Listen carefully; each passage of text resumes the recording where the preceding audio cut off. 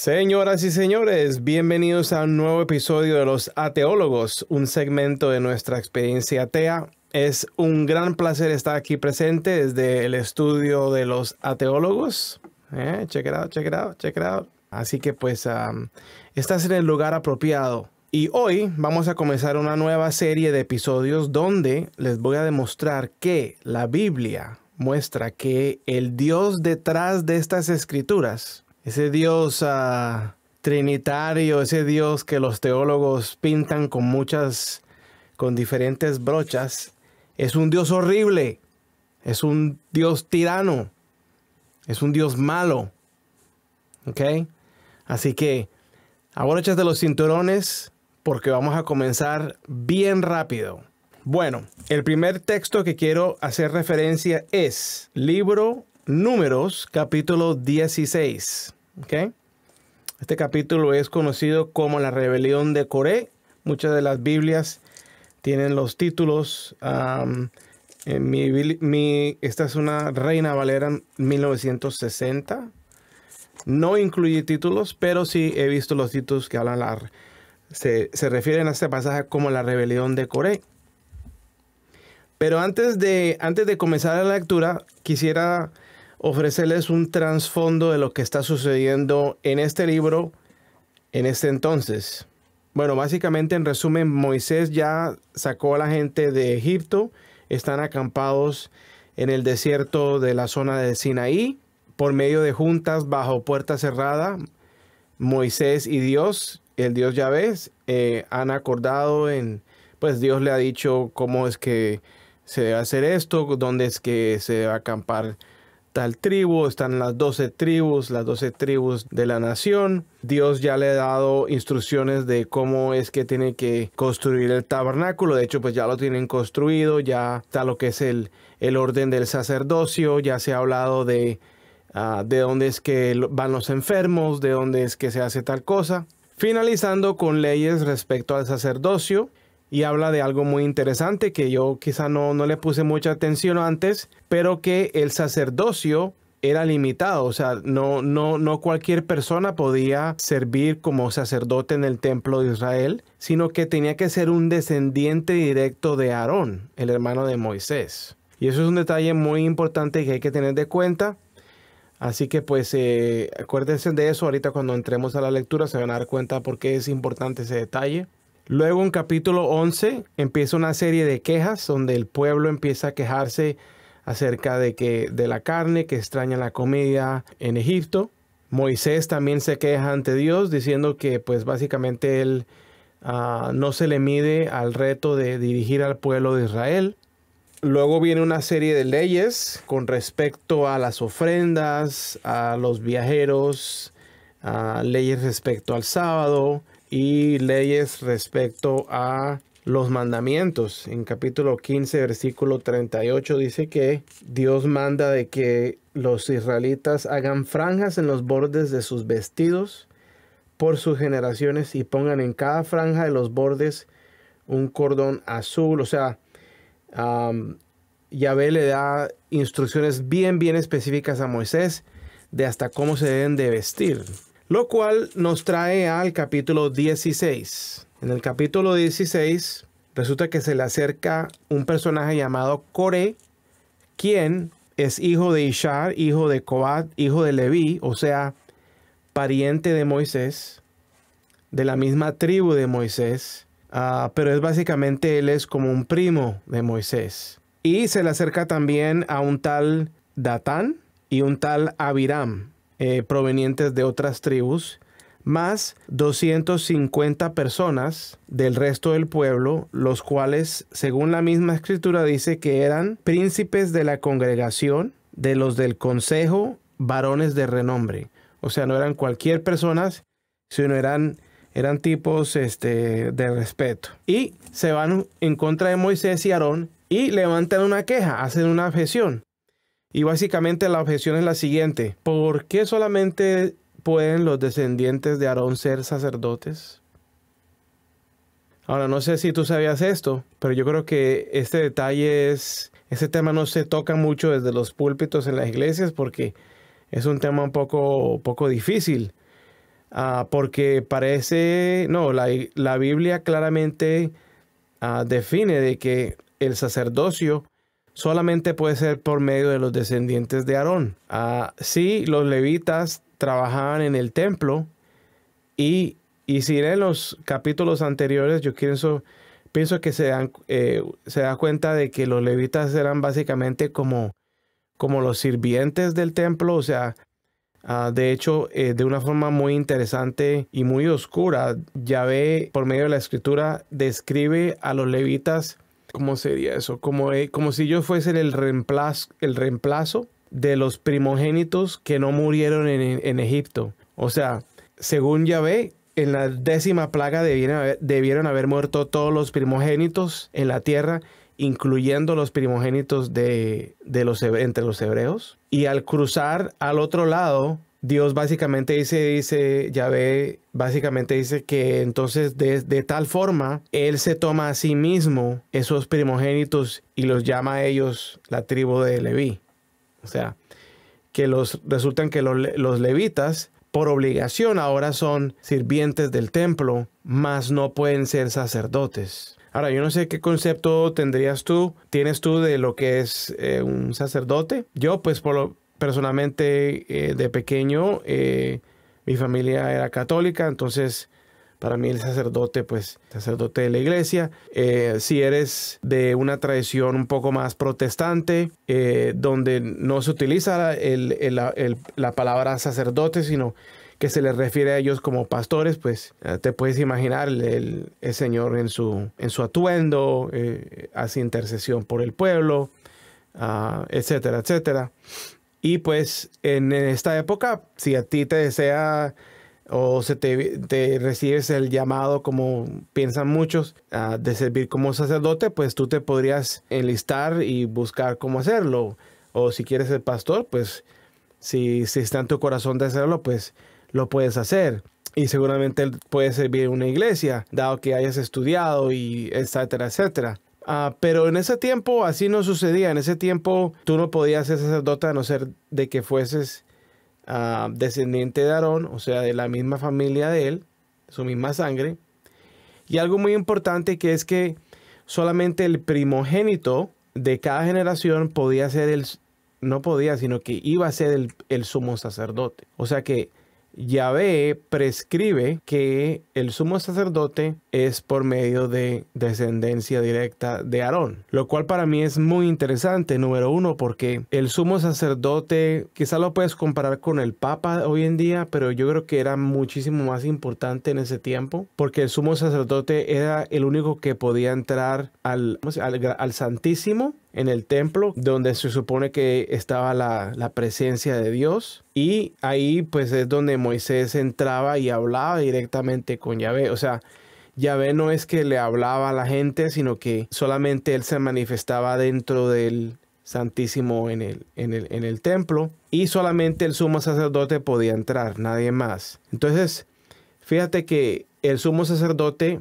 tenía un gran poder porque él solamente, él podía hablar con Dios. Lo otro es que si nos ponemos a pensar en el contexto de la audiencia original, lo cual es un principio de hermenéutica que nos enseñan en el seminario, donde tenemos que pensar en cómo la audiencia original hubiese percibido este mensaje o lo que estamos leyendo para nosotros poder aplicar, dar una interpretación apropiada es que el contexto religioso de los hebreos en ese tiempo era el contexto de los egipcios. No solamente porque vivían ahí, sino que vivieron en un tiempo ahí, según la escritura.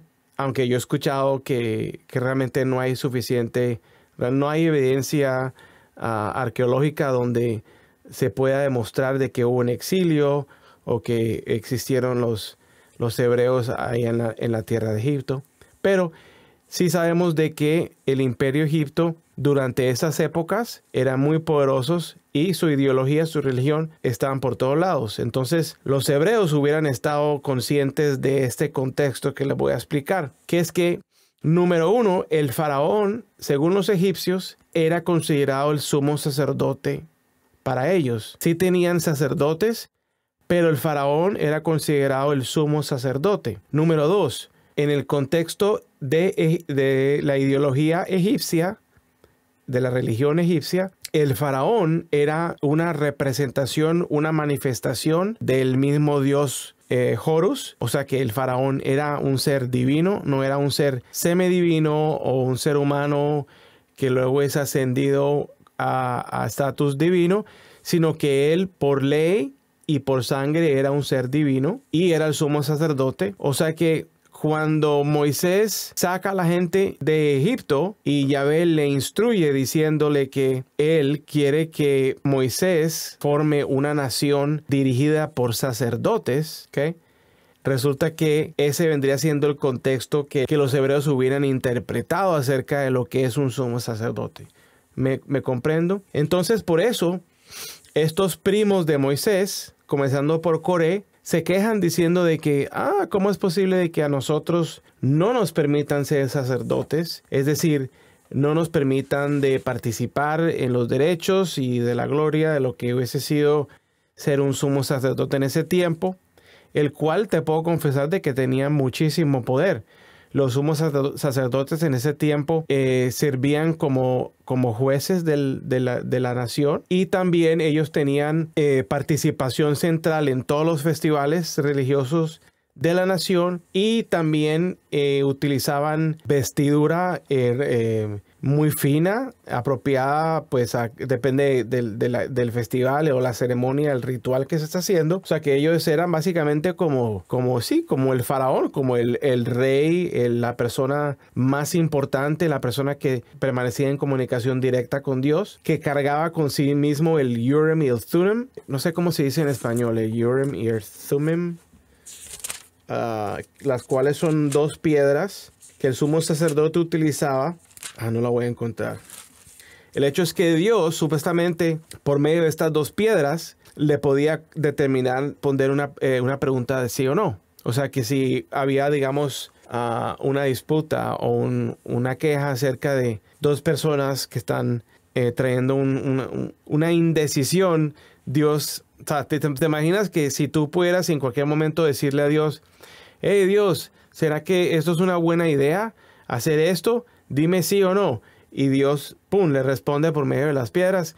Bueno, el sumo sacerdote tenía esas piedras donde Dios le podía responder a él sí o no, lo cual para mí tiene muchísimo poder.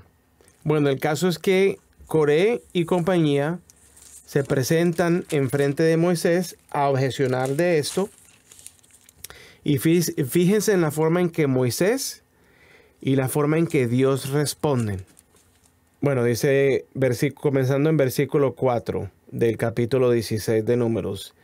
Cuando oyó esto Moisés se postró sobre su rostro y habló a Coré y a todo su séquito, diciendo, Mañana mostrará Jehová quién es suyo y quién es santo y quién hará que se acerque a él. Al que él escogiere, él lo acercará así. Haced esto, tomaos incensarios, Coré y todo su séquito, y poner fuego en ellos, y poned en ellos incienso delante de Jehová mañana, y el varón a quien Jehová escogiere, aquel será el santo o el, el apartado, o el escogido. Esto os baste, hijos de Leví. Dijo más Moisés a Coré, Oíd ahora, hijos de Leví, ¿Os es poco que el Dios de Israel os haya apartado de la congregación de Israel, acercándoos a Él para que ministréis en el servicio del tabernáculo de Jehová y estéis delante de la congregación para, ministrar, para ministrarles? Y que te hizo acercar a ti y a todos sus hermanos los hijos de Leví contigo? ¿Procuráis también del sacerdocio? Por tanto, tú y todo tu séquito sois lo que os juntáis contra Jehová, pues Aarón, ¿qué es para que contra él murmuréis? O sea, tratando de hacerlos sentir culpables, ah, en vez de ofrecer una explicación, los está invitando a que hagan un reto. Y el reto es que básicamente al siguiente día, cada uno de ellos tendría que traer un plato con incienso, con un incienso prendido, para que Dios se manifieste y Él seleccione realmente quién es la persona indicada para, para resumir el sacerdocio. Luego más adelante en versículo 15 dice, entonces Moisés se enojó de gran manera y dijo a Jehová, no mires a su ofrenda, ni a un asno que he tomado de ellos, ni a ninguno de ellos he hecho mal. Después dijo Moisés a Coré, tú y todo tu séquito poneos mañana delante de Jehová, tú y ellos y Aarón, y tomad cada uno incensario y poner incienso en ellos, y acercaos delante de Jehová cada uno con su incensario, doscientos cincuenta incensarios, tú también y Aarón, y cada uno con su incensario. Más adelante Dios dice que Dios se manifiesta, dice, ya Coré había hecho juntar contra ellos toda la congregación a la puerta del tabernáculo de reunión. Entonces la gloria de Jehová apareció a toda la congregación. Ok, so, todo bien hasta ahora, ¿verdad? Está la inquietud, está la queja, ¿por qué no podemos nosotros? Moisés les dice, ok, este, Dios escogió solamente a la familia de Aarón y sus descendientes para ser sacerdotes, pero si no te parece, vamos a dejar que Dios tome la decisión. Entonces mañana regresen, cada uno trate de ofrender su incienso y veamos cómo Dios responde. Entonces aquí viene el problema. Dice que Yahvé se manifiesta y se le apareció a toda la congregación. ¿Y tú crees que Yahvé al aparecerse se sentó a hablar con ellos y les explicó el porqué de que solamente por medio de Aarón podían ser sacerdotes y les ofreció una explicación razonable para, para eso? Pero no. ¿Qué hizo Jehová? Fíjense, le dice primero que todo a Moisés y a sus acompañantes, échese en un ladito, dice, apartaos de entre esta congregación y los consumiré en un momento. Y luego más adelante dice, Jehová le dice a, Moisés, habla a la congregación y diles, apartaos de, de en derredor de la tienda de Coré, Datán y Abiram. Entonces Moisés se levantó y fue a Datán y Abiram y, y a los ancianos de, Israel fueron en pos de él. Y él habló a la congregación diciendo, apartaos ahora de las tiendas de estos hombres impíos y no toquéis ninguna cosa suya para que no parezcáis en todos sus pecados. Y se apartaron de las tiendas y luego más adelante dice que, versículo 31, y aconteció que cuando cesó de hablar todas estas palabras, se abrió la tierra que estaba debajo de ellos, abrió la tierra su boca y los tragó a ellos, a sus casas y a todos los hombres de Coré y a todos sus bienes. Y ellos, con todo lo que tenían, descendieron vivos a Seol, lo cual pues no sé si ustedes saben, pero eh, en ese tiempo no se creía en el infierno como se habla hoy, como un lugar así en otra dimensión, sino que básicamente los judíos pensaban de que a la muerte eh, los hombres, los, los, muertos iban a Seol, o sea, básicamente al inframundo y de ahí pues dejan de existir. Entonces Dios, ya ve, se les manifiesta de esta forma y dice, todo Israel, los que estaban en derredor de ellos, huyeron al grito de ellos porque decían, no nos trague también la tierra. También salió fuego de delante de Jehová y consumió a los 250 hombres que ofrecían el incienso. O sea, las 250 personas, hombres de, ¿cómo fue que la Biblia dice? Príncipes de la congregación, de los del consejo, varones de renombre. O sea, fíjense de la falta de, delicadeza, ¿no? De, la parte de Dios. Ah, dice, también salió fuego delante de Jehová.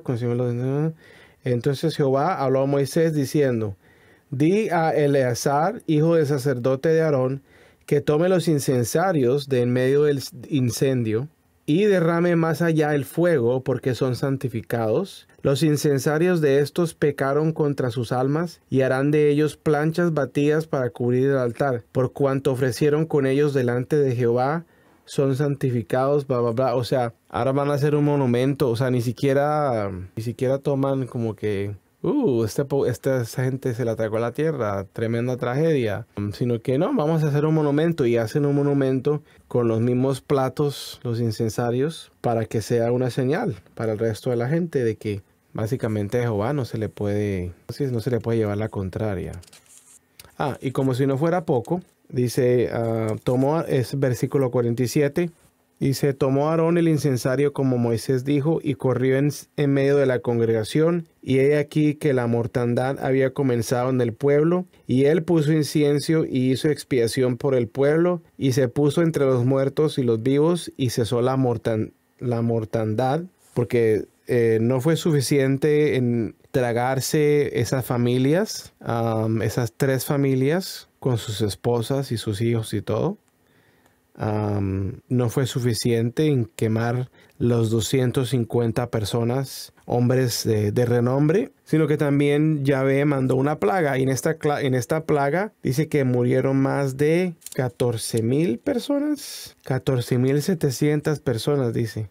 Y hubieran sido más, si no hubiera sido porque Aarón hizo un sacrificio y paró la plaga. Entonces, fíjese la forma en que Jehová está respondiendo a esta inquietud, ¿no? De estas tres familias con personas ah, justas, ¿no? Gente que que seguramente tenían una, una sincera. O sea, ¿por qué nosotros también queremos servir en el templo? ¿Por qué no puede ser así? Y, y, para mí, pues Jehová hubiera podido tener la delicadeza, ¿no? De sentarse, por lo menos tratar de razonar con ellos y explicarles de, del por qué tenía que ser de esa forma. Pero no, simplemente e inmediatamente decidió a, a matarlos a todos y a imponer su, su autoridad eh, por medio de miedo, que para mí es, es como que lo más lo más impactante de esta historia. Yo sé que pues ah, si tú escuchas a un, a un pastor evangelista hablar de este capítulo desde el púlpito, lo, más seguro es que ellos van a, resaltar simplemente eh, el que a Dios no se le debe llevar la contraria, de que uno eh, no, no puede negarse ante Dios, porque mira lo que puede pasar, ¿sí? Ellos van a resaltar, van a resaltar la desobediencia de Coré, ¿sí? Pero, pero no, hay que también ver la forma en que Yahvé está actuando. O sea, realmente esta es la clase de Dios que tú quieres alabar, un Dios que simplemente por un capricho, por una forma que quizás no, no puedas comprender, toma eh, decisiones tan drásticas como esa, tan horribles de matar gente, matar... Ah, pero seguramente tú me vas a decir de que en Números capítulo 26 dice que los hijos de Coré no murieron, o sea, implicando de que solamente Coré Ah, más los acompañantes de Coré murieron y fueron tragados por la tierra.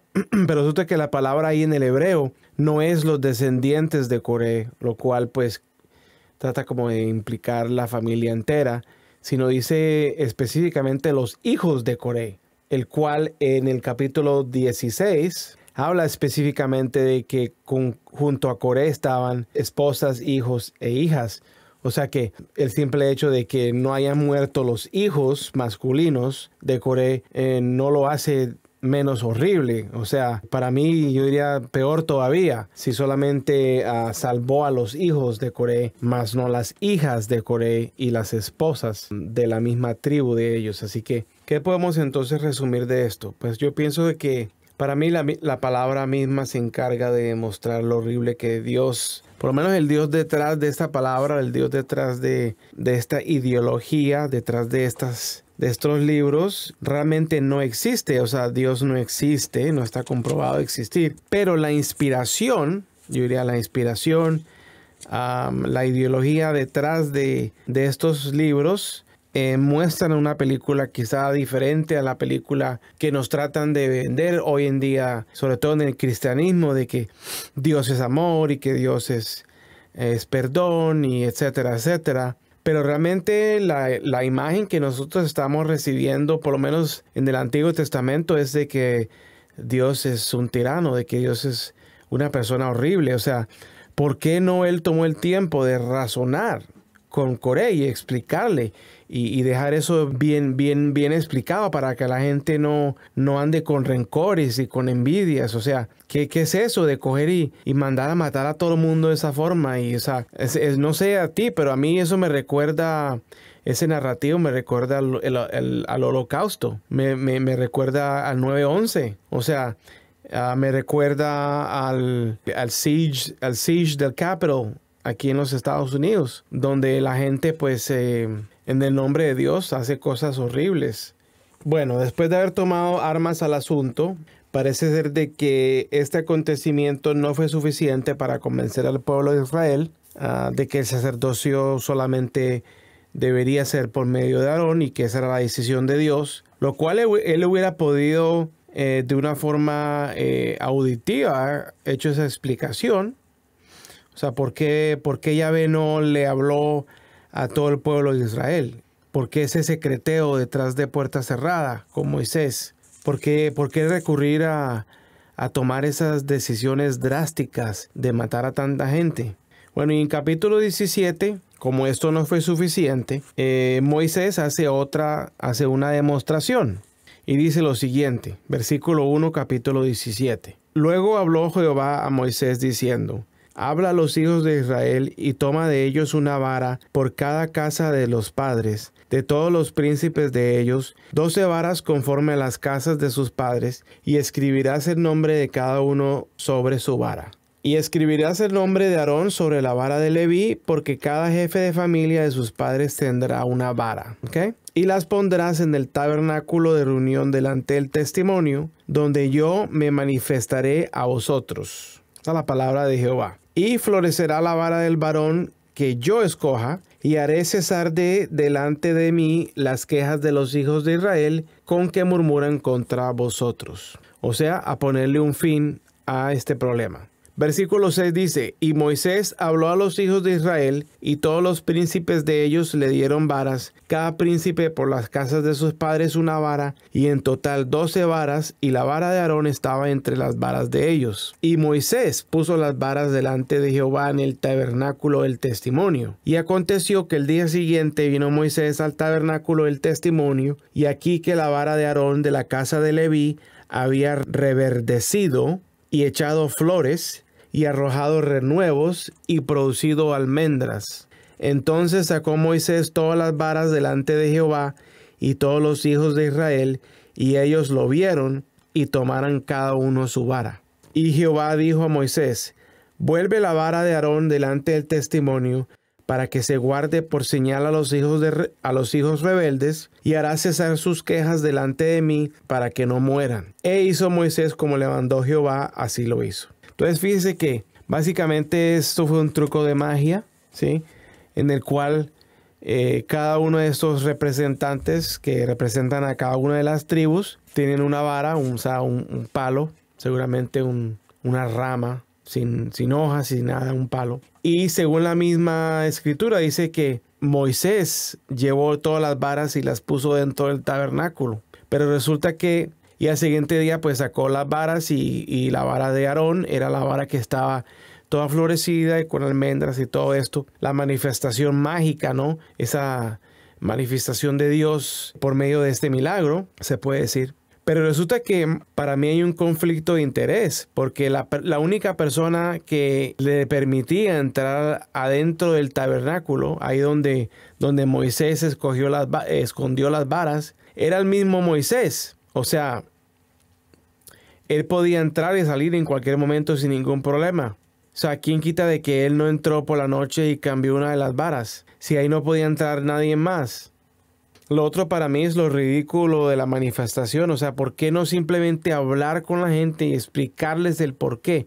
¿Por qué hacerlo de una forma misteriosa? ¿Por qué hacerlo de una forma ambigua donde no se sabe realmente qué es lo que está diciendo y, y la gente tiene campo para dudar? Porque es que tiene que haber campo para, para ver fe, porque tiene que haber campo para ver fe. O sea, Dios, si tú eres omnisciente, si tú eres, o sea, si tú eres omnisciente, si Dios lo sabe todo, eh, ¿por qué no pensó en, la, en, la, mejor forma de explicarles a ellos de tal forma de que le creyeran sin poner objeciones? ¿Por qué recurrir a estas medidas extremas de, de demostrar su autoridad ante el pueblo? Y también lo dudoso de esta, de esta otra manifestación mágica con ese palo. O sea, seguro hay otras formas más más fáciles de demostrar la autoridad o la autenticidad detrás de, de, un testimonio. Esas son cosas que se acostumbraban a hacer en tiempos de antigüedad donde la gente no sabía de lo que puede ser un truco de magia, donde se hacen cambios o se, se, se, hacen efectos. Mucho hubiera podido haber sucedido en ese momento de poner en duda y yo creo que si existiera un Dios, él hubiera podido hacer una mejor obra en explicar todo, en una mejor forma de, aclarar bien las cosas, no sin tener que recurrir a la violencia y el mal. Okay. Vamos a dar un mejor ejemplo nosotros, ¿cierto? Bueno, y en el próximo episodio les voy a platicar de otro pasaje que muestra para mí que el Dios de la Biblia, ese Dios que está en ese libro, ese Dios que se debe alabar, se debe creer, es un Dios malo, es un monstruo, uh, no es lo que tú piensas, no es lo que te han enseñado en, en, desde el púlpito. Así que muchas gracias por su audiencia. Gracias por los likes, por compartir, por participar en nuestra experiencia atea, que nos vemos en dos semanas aquí, en los ateólogos.